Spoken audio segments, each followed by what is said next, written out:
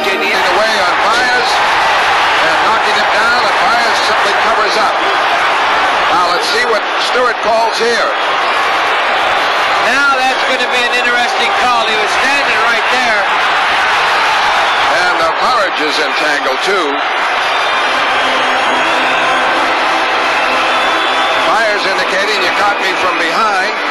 Lindenmeyer stays out of it. There's going to be some kind of penalty call here. The Burridge, Troy Murray thing was a counterattack,